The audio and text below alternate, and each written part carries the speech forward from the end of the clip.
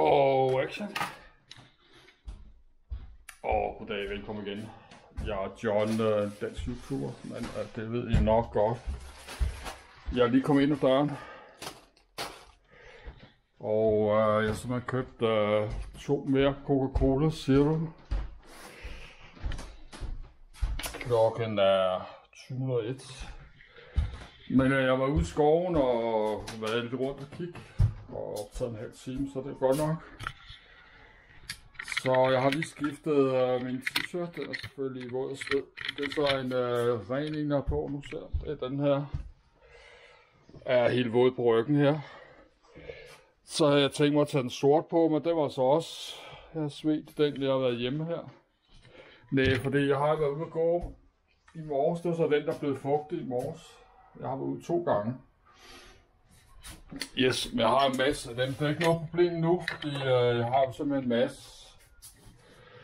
Det var det, jeg købte en masse af. Jeg har brugt øh, 2.000 kroner eller sådan noget. Jeg har købt over 30 t-shirt.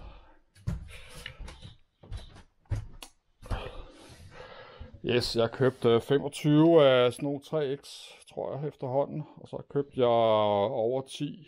Det er 2X. Øh, dem kan jeg godt gå rundt i min lejlighed og sove i. Men øh, det er meget rart, når jeg går på gaden, så det de dækker øh, min mave. Men det er jo ikke meningen, at jeg skal blive større. Det er meningen, at jeg skal den anden vej blive mindre. Så det er også meget rart, og det bliver heller ikke rart, når man først begynder at tabe sig. Så bliver det jo ligesom sådan en cirkustelt. Så bliver det jo heller ikke rart, at den er alt for stor. Så man skal have skal jeg næsten have til tre størrelser. Man skal både have 4x, 3x og 2x, når man er så overvægtig øh, som mig. Men øh, yes, men øh, det blev så til to kroner, siger du. Jeg skyndte mig at putte den i køleskabet, så klokken er 7. Det kan være, at det bliver koldt klokken 9 aften. Det finder jeg ud af. Så var et glas danskvand. Så jeg synes set bare se Netflix resten af dagen. Jeg skal uh, selvfølgelig uh, lige uploade noget video nu. Yes, det tror jeg faktisk godt, man må i uh, fly at have sådan en med som håndbagage. Det er noget med 55 cm længde, og uh, max 25 cm tykkelse, og så kan jeg ikke huske bredden, om det var 45 eller sådan noget. Så der kan man altså have meget i sådan en her, med, hvis man har sådan noget sportstøj og en toilettask. Man kan ikke have sådan en uh, mini sovepose. Jeg så sådan en dyn sovepose i Spidersport, de er 600 gram. Uh, det er sådan noget af det letteste. Uh, der er sådan en letvægts dynsov, dynsovposer hedder det. Mellem 6 og 800 gram. Så det kan man altså godt. De er altså bare ikke billige. De koster altså et par tusind kroner stykke. Jeg tror, det koster 3-4.000 kroner. Jeg kan ikke huske det, men det kan man altså godt få. Øh... Men det er jo også den aller letteste til 600 gram. Men man kan få nogle på 800-900 gram under et kilo Altså nogle dunsovposer. Det kan man jo have i sådan en rygsæk. Det vejer jo mindre end... Øh vejer mindre end sådan, det vejer jo halvanden kilo. Den vejer mindre end sådan en her. Yes, den vejer jo øh, 1500 gram, så man kan faktisk have to soveposer på 750 gram. Øh, samme vægt som sådan en flaske her. Så man kan også få sådan to personers telt til 1,8 kilo, så det kan man altså godt have sådan en lille rygsæk. Man kan godt have sådan en lille to personers telt på 1,8 kilo og sådan en øh, dual sovepose på 600 gram. Og et lille lægunderlag.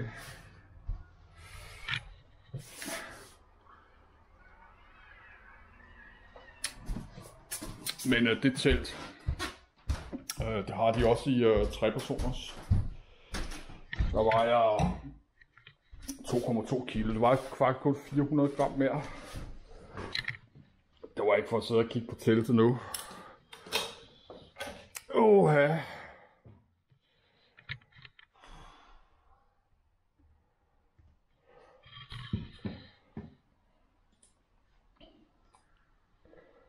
Jeg kan ikke huske, øh, hvem der var Friluftsland, der havde det.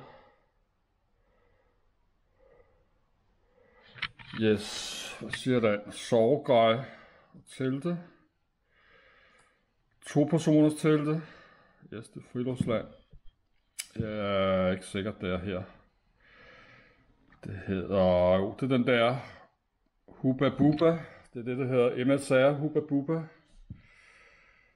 4.400 mener, det er den, der vejer 1700 gram. Yes, helt vildt. 1,8 kilo. Det kan man altså godt have i en uh, lille rygsæk. Og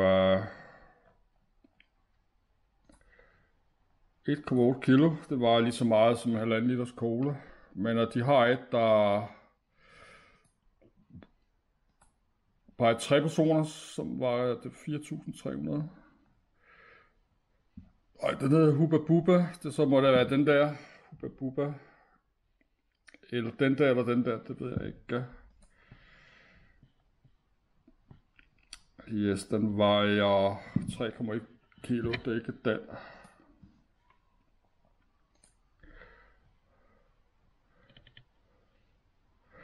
Yes, 2,8 kilo, det er heller ikke den. Det er heller ikke meget. Nej, den her tror jeg. Motta Hubba Bubba, tror det er den. Yes, det er altså bare lige 5.000. Det vejer 2,1 kilo. Det er tre personers telt. Det var kun 300 gram mere end det der to personers. Så det er jo et rumle, ja det er ikke et rumle, det er i hvert fald telt til øh, to voksne. To voksne mænd øh, kan ligge, eller tre øh, mindre personer. Det er altså ikke meget. 2 kilo, 2,2 kilo, 2,3 kilo.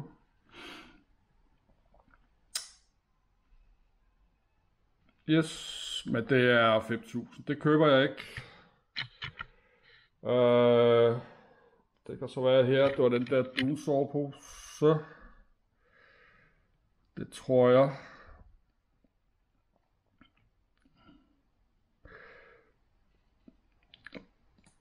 Det kan være den her til, uh,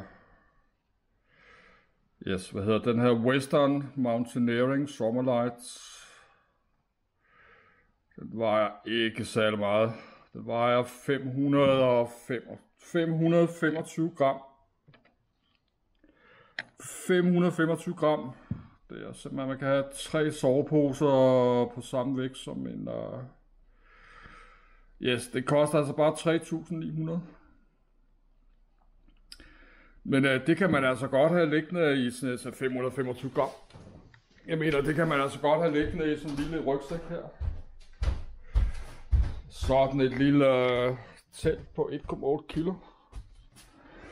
1,8 kilo og så to soveposer Øh, til 525 gram. Det er altså bare lige koster 10.000 kroner at købe. Og øh, jeg ved ikke, om man kan de der Lego-underlag. Man også kan få Lego-underlag, der vejer og ikke så meget sovegrej Lego-underlag. Yes, det ved jeg ikke. Jeg tager mig rest.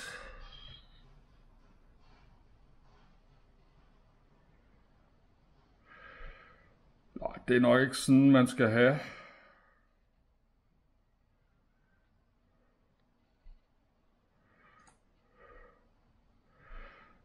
Den vejer 400 og 430 nede i den lave ende der.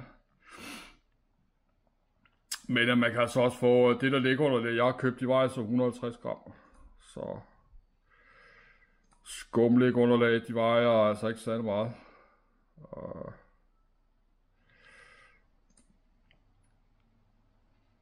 Men det er det, de er jo 60 cm lange. Den skulle også noget kunne folde, Den sådan vejer 210 gram sådan en her.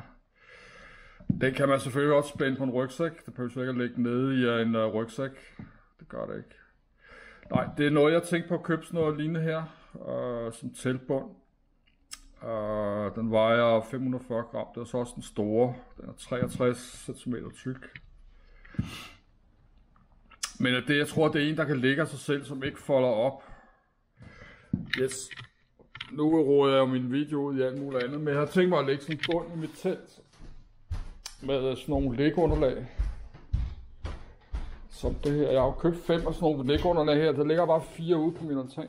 Det her vejer, jeg ved ikke hvor meget det vejede, 150 gram eller sådan noget. Jeg har købt fem af de her, men det der kan jeg jo ikke lægge ned i en uh, rygsæk. En lille rygsæk kan jeg ikke lægge... Uh... Jamen selvom det her er så let, jeg kan jo ikke lægge den her ned i. Fred, det kan jeg jo ikke, så skal den spændes øh, på foran på en eller anden måde. Der er også nogle remme her. Den kan jo sagtens spændes på sådan her, det kan du sagtens. Men det er også det, jeg har ikke været sådan en spejdersportbutik, øh, friluftsbutik i rigtig mange år. Så jeg skal ned og købe nogle remme og sådan nogle ting. Man kan jo godt sagtens spænde... Øh, Der er sådan nogle hold, man kan sagtens spænde noget på her. Man skal bare have nogle forskellige remme. Der er også noget øh, her. Der er ikke noget øh, på den her. Der er altså ikke nogen... Det er en skolerygsæk det her. Der er ikke nogen vandrerygsæk. Men man kan jo godt have et øh, uh, lægunderlag bagpå her. Nej, men øh, problemet er med de her da når man folder de her ud, så er de jo krøllet. De ligger altså ikke fladt på jorden, de der. Når du folder det ud, så kryber de selv op. Det gør, selvom du har et tæppe henover her, så, så ruller de altså op. Men hvis du lægger så fem ned i bunden og sådan et øh, tæppe henover, så bliver det altså ikke fladt. Så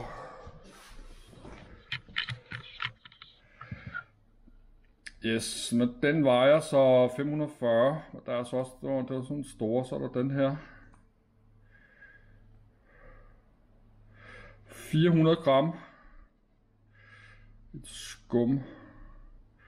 Jeg tror, at den øh, vil blive flat. Det må man øh, finde ud af.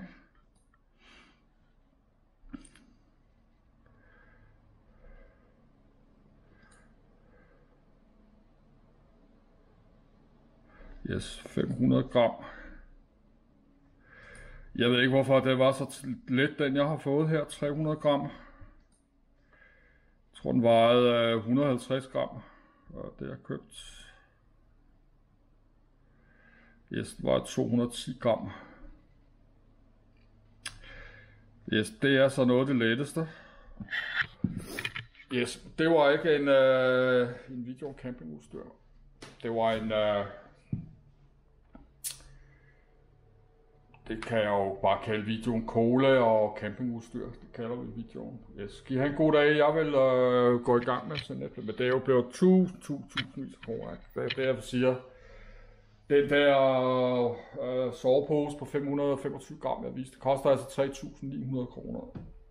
Og øh, det der telt på 18, det der Hubba Bubba telt, to personer, altså, det var 4.200. Yes, alene det, det er 7.500 kroner. Det er mange penge. Yes. Men øh, det er jo nok sådan noget, jeg skulle have, hvis jeg skulle øh, ud og cykle. Så skulle jeg nok have det der 3-personers telt på 2,2 kilo. Uh, det var der er en lille smule ekstra plads. Det ved jeg så ikke. Man kan så også gå efter den, øh, den letteste løsning. Så det er også sjovt at rejse øh, sådan helt let. Yes, som sådan et telt på 1,8 kilo og en sovepose til øh, 500 gram. Så kan man jo simpelthen, uh, man kan have sådan en lille rygsæk, som ligger under den. Man kan jo have sådan et helt telt og sovepose og ligge under i sådan en lille rygsæk. Og nogle sports t-shirt og en uh, toilettaske og sådan en letvægts håndklæde og uh, alt muligt. En lille lommelygte og alt muligt simpelthen. Man kan have sådan helt hjem i sådan en lille uh, rygsæk der. Yes, kan I have en god dag, og kort. Vi når at tage en tår dansk vand. Ja.